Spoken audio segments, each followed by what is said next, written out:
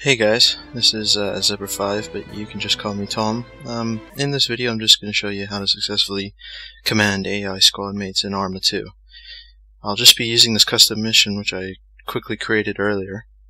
Um, so, uh, yeah, in a second we'll just get started.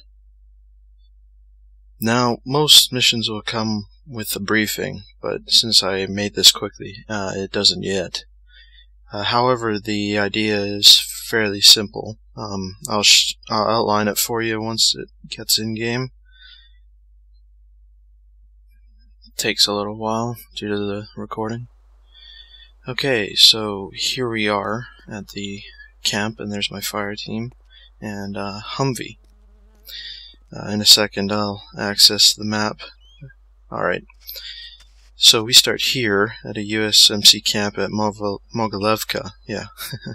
and we take this road all the way down here, take that little side road, and head uh, east all the way down here to a Chedaki camp at Pusta. And somewhere in this area, um, there will be an ammo cache, which we also have to destroy. And once we're done with that, we need to head back the way we came and arrive back at the same camp. So let's go. So basically, I'm just going to order the guys in, and that's just a, Get in that a point and click affair. Um, I'll wait for them to get in before I do. Right flag, 100 meters. Uh, you'll notice that your second in command is always getting in as the driver, your third in your third in command, I guess, is always getting in as a gunner, and everyone else tries to get in whatever position is left, uh, which in this case is the back. And I'll just let the AI drive uh, for sake of the video. Three. Uh, good idea to get the maximum effectiveness out of your gunner Three. is to Cover put him in danger, uh, make him engage at will, and to scan horizon. Now, we don't exactly want to go charging in, so I'll put us back somewhere way over here um, and simply select the driver and click on the map where you want him to go. And away he goes now. Now I'll apologize in advance for any silly mistakes that the AI make, and it's still not uh, perfect in Arma 2 yet, but I'm sure it'll get perfected eventually. Now, one thing that I like to do is, when I'm in vehicles, is to have third person enabled so that you get access to this uh, command view. Uh, yeah, see here's an AI screw up, which didn't happen before actually in previous playthroughs. Uh, but anyway, um, you get this command view, which gives you a much more realistic, in my opinion, uh, view of the surroundings, and rather than just being locked into first person, um, which you'll get on some of the higher difficulties. Speaking difficulties, I just I play on regular, but I've modified it to make it a bit more difficult. Um, you see ahead of me that we have forest, and to our left we have forest, and to our right we have forest.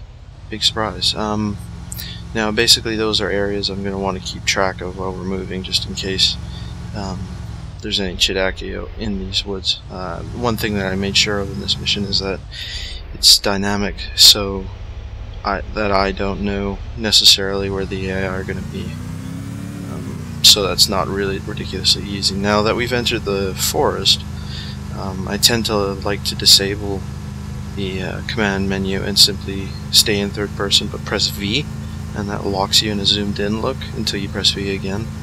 Um, and basically just this gives you a clearer picture of what's beside you. And you particularly pay attention to the dips on which are currently on the right side of the road but you want to keep scanning left and right and soon we should be coming to where I told the AI to go. Um, still keeping an eye on the left and the right sides of the road, particularly the right. But also you also have the higher vantage points on the left, which would be a logical place for them to ambush you, but it looks like they're okay for now.